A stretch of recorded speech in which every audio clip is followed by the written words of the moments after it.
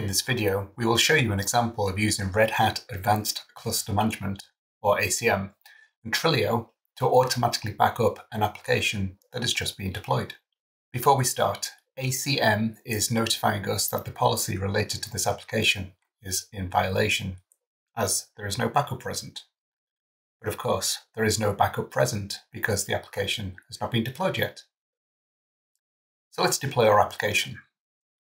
We're using Red Hat Ansible Automation Platform here to simply deploy our app to the cluster that ACM is governing.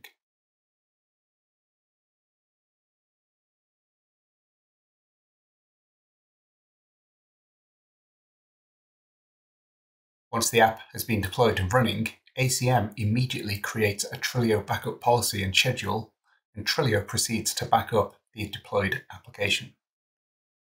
We can watch the backup in progress by switching to the Trilio multi-cluster user interface.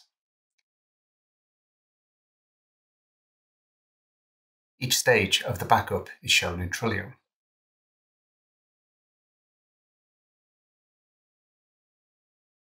Now that the backup is near completion, we'll switch back to ACM in the OpenShift console and see that the policy has changed from being in violation to no violations, meaning that the ACM policy of ensuring the new application has been automatically backed up by Trilio.